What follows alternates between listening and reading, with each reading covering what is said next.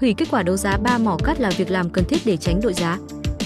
Mới đây, chính quyền Hà Nội đã ra thông báo về việc hủy kết quả đấu giá 3 mỏ cát Tây Đằng, Minh Châu, Châu Sơn, liên mạc vốn gây xôn xao thời gian dư luận thời gian vừa qua.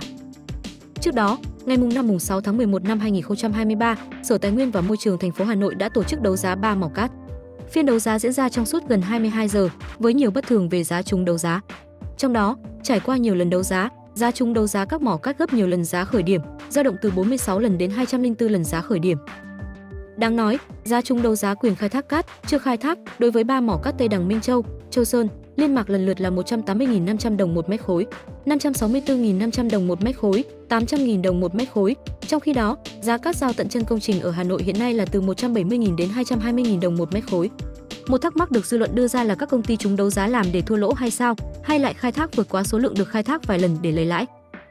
Rõ ràng, đây là một giá bất thường, có thể đưa tới nguy cơ tiềm ẩn liên quan đến thổi giá vật liệu xây dựng. Giống vụ đấu giá đất ở Thủ Thiêm trước đây, tạo ra những hệ lụy lớn cho ngành xây dựng ở Hà Nội nói riêng và cả nước nói chung.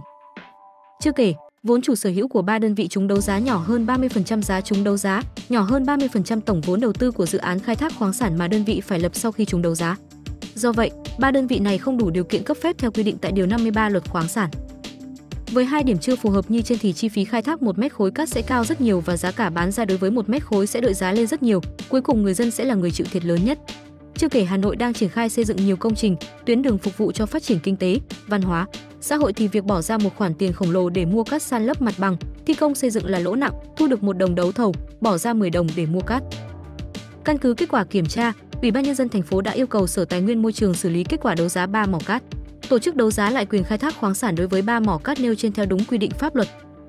Việc chính quyền Hà Nội báo cáo Thủ tướng và Bộ Tài nguyên và Môi trường không công nhận kết quả đấu thầu trên là quyết định thận trọng, đúng đắn, ngăn ngừa những tiêu cực có thể xảy ra sau này. Rõ ràng, đây là một quyết định đúng đắn, phù hợp, ngăn chặn hành vi lợi dụng đấu giá để đẩy giá, gây nhiễu loạn thị trường.